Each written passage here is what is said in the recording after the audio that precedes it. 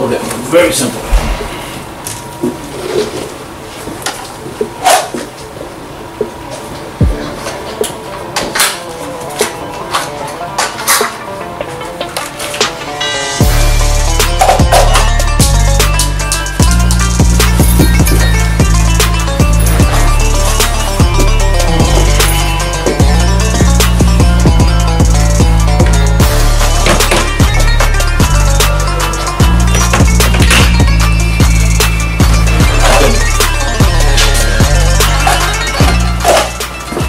We're working, the first thing we're gonna look at is a draw, right? Okay. And how it is, we're gonna do a different kind of count draw. It's a grip chest, pull chest, right? Mm-hmm. Join, extend. Okay. Okay, so the grip chest, I'm a little slow. Okay.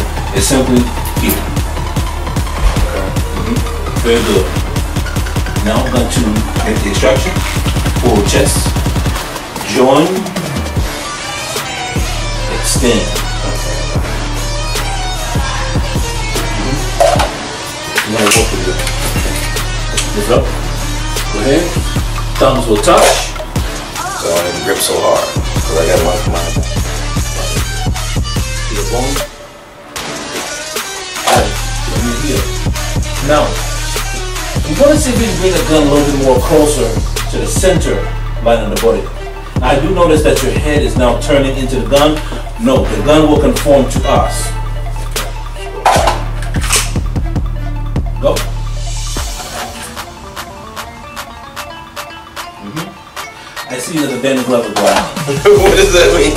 No, you, just. Oh, this. No, it's okay. A lot of people do it. It's a daddy glove. A lot of people do it. So I need to keep my head straight. Right now, what you have is a Weaver stance. Okay.